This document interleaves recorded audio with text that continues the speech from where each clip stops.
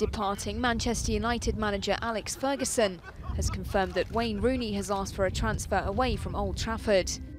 Rooney was left out of the United squad for their final home game of the season, a 2-1 victory over Swansea on Sunday.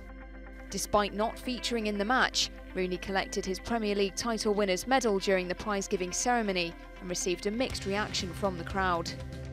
Ferguson confirmed in his post-match interview that the England international has formally submitted a transfer request.